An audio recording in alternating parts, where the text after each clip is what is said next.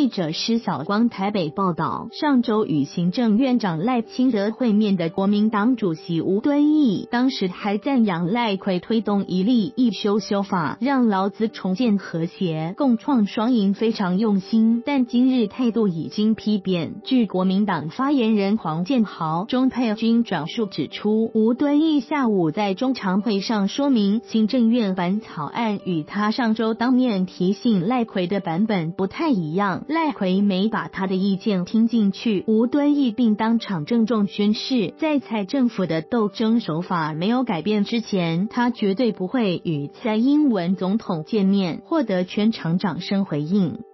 据转述，吴敦义特别在中常会指出，上周五赖会后，他下乡时在基层听到很多不同的声音，也已经一一了解。目前的定调就是民进党人一手操弄政治斗争，而且清算国民党的党产。党内有人主张可以见赖清德，但不能见蔡英文，这些话他都已经听进去了，随即宣布上述不见蔡英文的立场。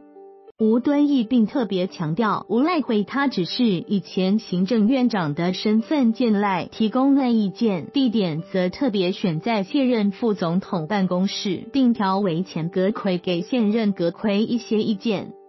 据指出，吴敦义还特别强调，他关心高雄、中部等地方问题，而且主要提醒赖清德应对一例一休要有完善配套，促进劳资和谐、双赢互利。但目前行政院的版本让劳工感觉不太舒服，与上周他提醒赖奎的版本不太一样，赖奎并没有把他的意见听进去。吴敦义还说，一例一休问题一定要妥善处理，不能只有工商界赢，劳工输或劳工赢，工商界倒，一定是要让劳资和谐，双赢互利，双方可以协调。